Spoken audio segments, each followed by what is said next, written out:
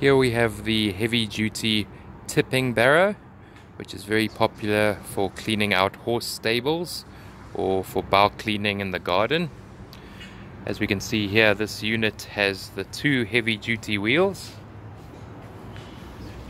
the strong heavy duty plastic bucket, and this is all mounted on a strong metal frame.